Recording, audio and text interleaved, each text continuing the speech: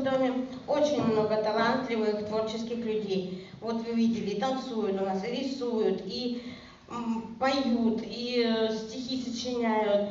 Мы даже спектакли ставим. Вот. У нас э, часто проводятся там и дискотеки, и концерты, и различные конкурсы.